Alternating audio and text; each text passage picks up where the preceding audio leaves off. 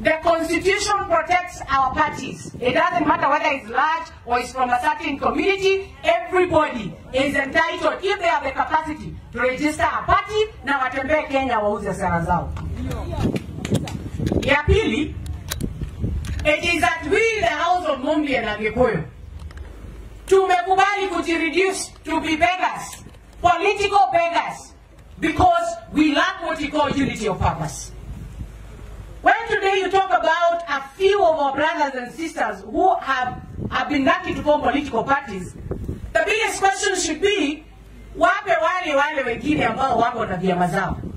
We are a divided house and we cannot blame anybody ambaye amekimbia kwa uwanja, amekuja mlima Kenya na anaongea na hao raia. Nasema hivyo because we should not perceive any party leader a threat to the existence of our parties because our parties should be driven by our ability to come talk to our people, convince them, and make them rally behind the agenda our political parties are fronting. So I'm calling upon my sister Martha Karua, Mwangi Kionjori na wale wengine akina Munya na Kabogo, wacheni kuconcentrate na kulialia kushindana mkisema mnashurutishwa mvunje chama. Nyinyi tengezeni sera zenu, ingieni kwa ground, ongeeni na watu ya kanisa, ongeeni na raia wa wakubali, kwa sababu kombeni kompero safi. Manake tukiambia hawa raia ati ya kwamba wanafungiwa, kuna chama zinaambiwa zivunjwe, swali ile raia wa kawaida atauliza ni hii, nani huyu ulikataa ama alikukataa? Farasi ni wawili, farasi ni William Ruto na Raila Amolo Odinga. Kwa hivyo wakati tunasema vyama zinafunguliwa ama zinafungwa, tuelezewe kinagaupanga point iendelee, tuelezewe nani huyu ni William Ruto ama ni Raila Odinga anataka vyama zivunjwe, kwa sababu ukweli usemwe, mtu anafunguanga chama yake kwa sababu ana imani ako na ushawishi wa kutosha ya kufanya watu wamfuate. So the truth must be told in this mountain. Wewe uko na chama yako, haki yako. Hata mimi nitafungua yangu inaitwa ya Maslekwi na ama ya Masingore. Tuko wengi pia. Masingore ni wengi by choice ama kukutana na mataabu ya hii dunia. Ama ni aje? Si ni namna hiyo? Eh, tuko wengi hii dunia. But the point should be this, which I don't want us to miss.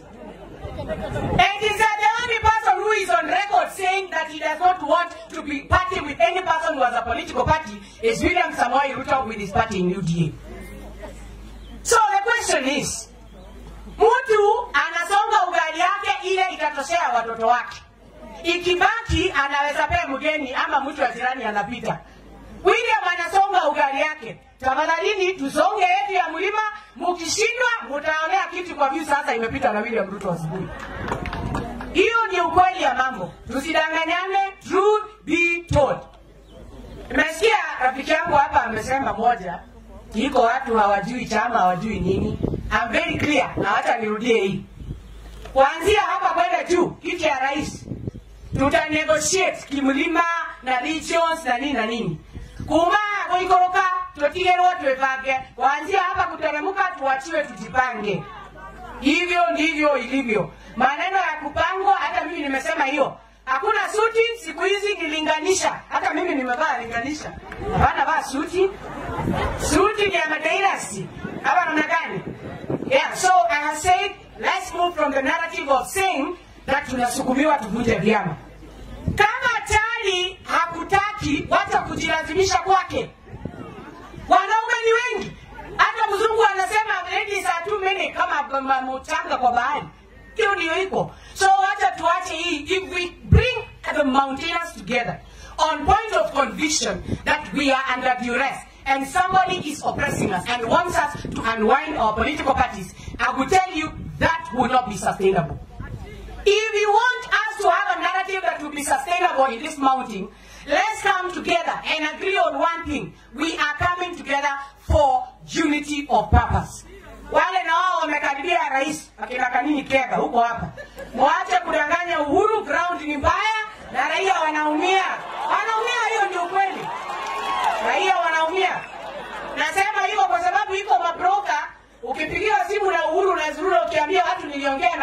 usiku, kama mliongea, mbona hujamwambia mafuta imepanda bei na gas? So the truth of the matter is, hii watu Mheshimiwa Martha Karua wamekasirikia serikali kwa sababu serikali ina oppress maskini. Hakuna pesa, nchi imefungwa, bado lockdown iko, bei ya gas imepanda, bei ya maji imepanda, bei ya umeme imepanda. Politics of psychophanism, Honorable Kanini Kega, must end. We must talk about real issues that are affecting our people.